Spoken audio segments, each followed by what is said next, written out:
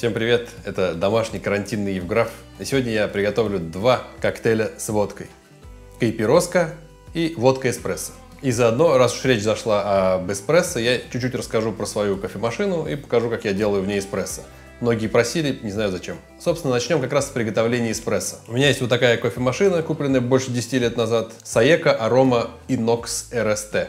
Она, по-моему, уже не производится. По-моему, вообще компания Saeco там к кому-то присоединилась. Машина, не знаю, насколько она хорошая, плохая, меня устраивает, я каждый день пью из нее кофе. Ну и, конечно же, кофемолка, потому что самое важное в приготовлении кофе – это кофемолка, запомните. Если у вас кофемолка такая вот с ножами, это не кофемолка, это приспособление, чтобы перемалывать специи или превращать сахар в пудру. Вот сюда засыпаются зерна, потом я настроил крупность помола, Извините за грязные приспособления, но я их оттирал как мог, но жир от сковородок так просто не отшкрябывается. Включаю, все перемалывается, и получается вот такой вот кофейный порошок. Дальше у меня есть рожок для эспрессо кофеварки. И вот такая штука, это называется темпер. Я его заказывал отдельно на eBay, что-то за 5 баксов, по-моему, давным-давно. Главное, чтобы под диаметр вашего рожка подходило. Соответственно, пересыпаем перемолотый кофе в рожок и аккуратно и ровно уплотняем его темпером, чтобы получилась равномерная таблетка. В принципе, никаких тут суперсекретов нет. Главное это делайте аккуратно и чтобы был один уровень у кофе. Затем включаем кофеварку, вставляем в нее рожок и сразу нажимаем, чтобы протекал кофе. Я использую две рюмки, просто чтобы вам было видно, что там оттуда выливается. Когда я делаю себе кофе, я обычно делаю на глаз, просто я примерно знаю, сколько времени оно должно протекать, секунд 20. Ну, плюс-минус, то есть это зависит от разных факторов. Собственно, эспрессо готов, и сразу приступаем к приготовлению кофе, пока эспрессо еще не умер. Знаете, говорят, когда пузырьки еще идут, он еще жив. Ну, честно говоря, пока я тут снимаю, скорее всего, он уже при смерти. Итак, коктейль водка эспрессо. Коктейль готовится в шейкере. Первым делом, естественно, наполняем шейкер льдом. И бокал наш тоже наполняем льдом. И самое первое, что нам сделать, это надо растворить в кофе сахар. В этом коктейле предполагается использовать сахарный сироп, но мне лень, поэтому просто отмеряю 45 эспрессо. Вот так вот. И туда сразу насыпаю ложечку сахара. Ну и немножечко так вот перемешиваю.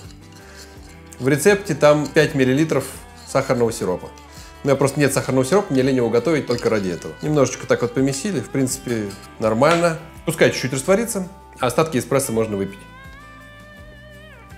Нормас. Кстати, кофе, который я покупаю, я всегда покупаю килограммовые пачки до 1000 рублей, прям сразу, без всякой рекламы, либо в метро Риоба 100% арабика, либо Паулик, только стопроцентная арабика, естественно, либо Эгоист, тоже стопроцентная арабика всегда. Только никакой рабусты быть не должно в кофе. Забудьте вообще про рабусту. No, рабуста отменить, запретить. Итак, кофе чуть-чуть постоял. Я прям чувствую теплый джиггер. Сейчас мы еще немножечко тут помешаем. И заливаем его. Если сахар там не до конца растворился, то ничего страшного. Мы сейчас во время шейка его дорастворим. Дальше нам понадобится водка.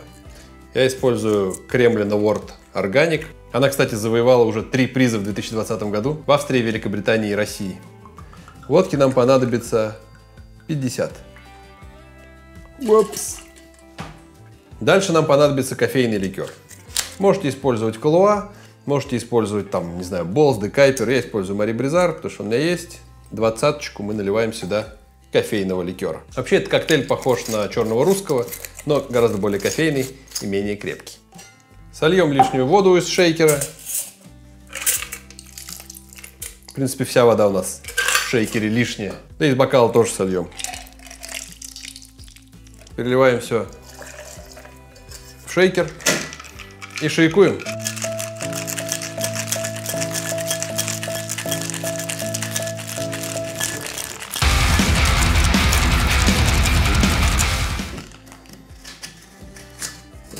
Шейк закончился. Время перелить коктейль в охлажденный бокал.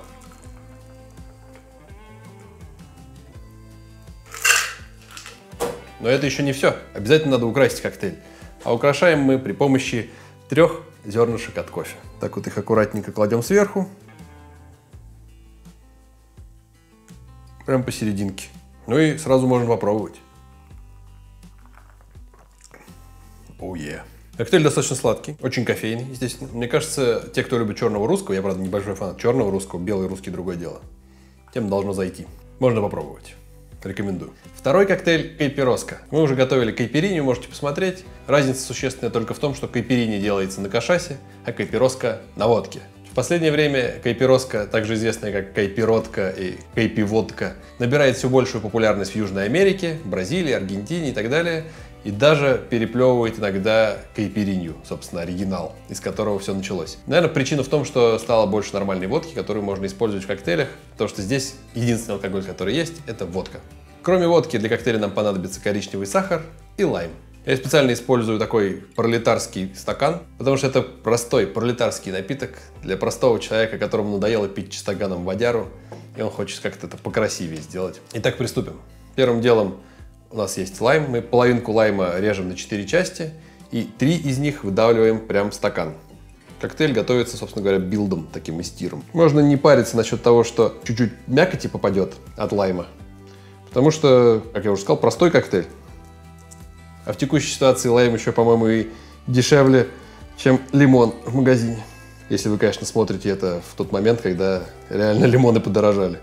Три кусочка выжили, вот у нас получилось такое количество лайма. А один кусок мы туда просто закидываем и сейчас будем мадлить.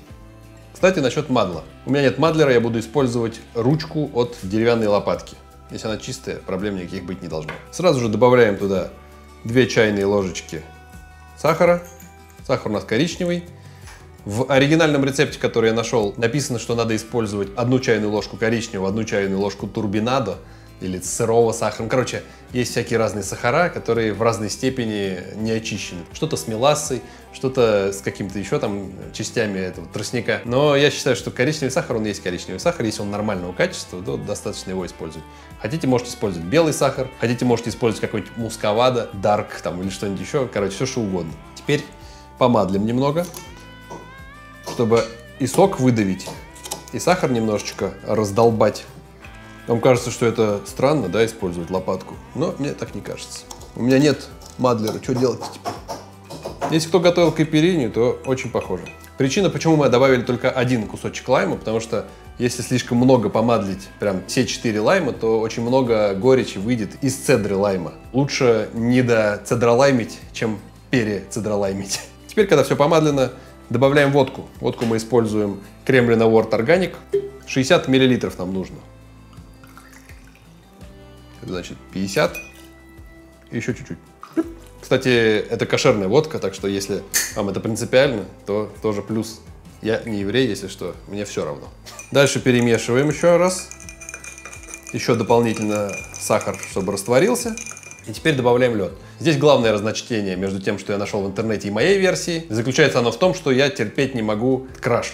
Поэтому я добавлю обычный крупный лед. Если вам нравится краш, да пожалуйста, ради бога.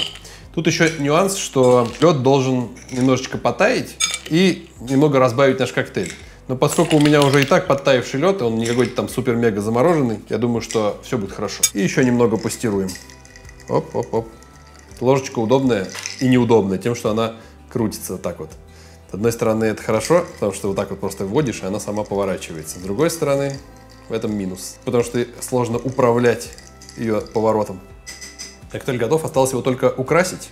И мы возьмем просто еще один кусочек лайма и положим сверху. Все, нам больше ничего не надо. Пьют этот коктейль с помощью рта, а не с помощью трубочки. Так что украшать его чем-то по бокам неудобно. Ну, зачем? Оно будет в нос лезть или выпадать. Пришло время заценить коктейль. Кайпи-водка. Кайпироска. Кайпиротка. Отлично. Кому-то может показаться, что мало сахара, но я аккуратно добавлял, чтобы не было слишком много. При этом он в основном весь растворился, немножечко там что-то снизу осталось. Ну, попробуем сейчас. Вещь. На самом деле, честно говоря, ну, конечно, у кашаса очень специфический вкус, он яркий. У водки нет вкуса, к счастью. Чем меньше вкуса, тем лучше водка. При этом этот коктейль очень слабо отличается от кайперини.